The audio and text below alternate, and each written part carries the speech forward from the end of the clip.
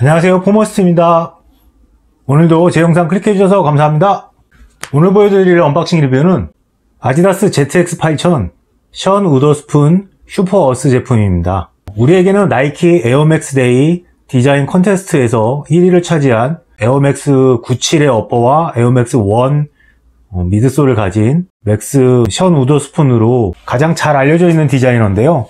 여러 브랜드와 콜라보를 하면서 어, 작년에는 아디다스와 콜라보를 하면서 어, 슈퍼스타 제품을 내놨었고 올해는 아디다스 클래식의 또 다른 모델인 ZX8000과 어, 협업을 해서 지난 4월에 발매가 되었었고 발매가는 18만 9천 원이었는데 작년 슈퍼스타는 그래도 인기가 그럭저럭 있었던 것 같은데 올해 ZX8000 제품은 인기가 별로 없어서인지 몇몇 사이트에는 아직도 남아있고 저는 어, 리셀로 발매 전가보다 많이 저렴하게 구매를 해봤습니다. 어, 디자인적인 특징은 슈퍼어스라는 이름을 달아서 신발이 만들어지면서 내뿜는 공해를 최대한 줄이겠다라는 의지를 표현하고 있는데요. 어, 그래서 동물성 재료는 사용하지 않고 오가닉, 유기화학물 재질과 폐기물 어, 이런 것들만 사용해서 신발을 만들었다고 합니다. 슈퍼어스를 나타내는 지구 모양의 S자 커다란 인형이 달려 있고요.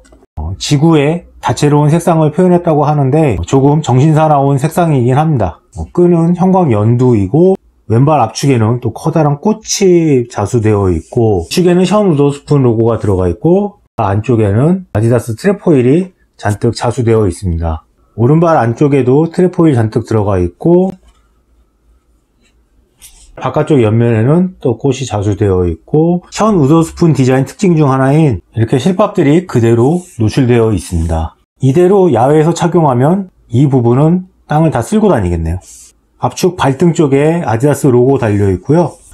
왼발 오른발 색상이 다른 약간 What The 느낌의 coloring을 가지고 있고 insole도 양쪽 색상과 패턴이 다르고요. 소재는 오솔라이트 insole이 사용되었습니다. 어, 신발 upper lasting 접착 방식도 요새 사용되는 strobel 방식이 아닌 예전에 보드 접착 방식을 사용했습니다. 그리고 안감 lining에는 아디다스 오리지널 로고와 션 우더 스푼 로고가 들어가 있습니다. outsole 색상은 아이보리로 같으나 안에 torsion bar가 노란색, 빨간색 되어 있고 뒤축엔 또 빨간색과 파란색이 들어가 있습니다. 박스에는 A, ZX 시리즈라고 되어 있고요. 전체 흰색에 슬라이딩 방식의 박스가 되어 있고 별도의 여분끈 한 쌍이랑 신발을 만들 때 어느 재질을 사용했는지에 대한 설명이 적힌 커다란 마분지 같은 카드가 하나 들어 있습니다.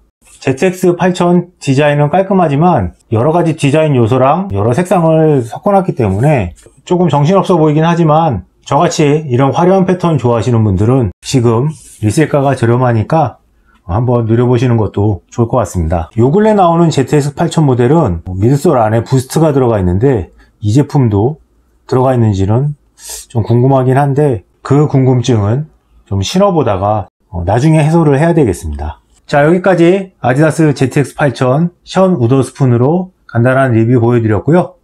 그럼 다음 영상으로 뵙겠습니다. 감사합니다.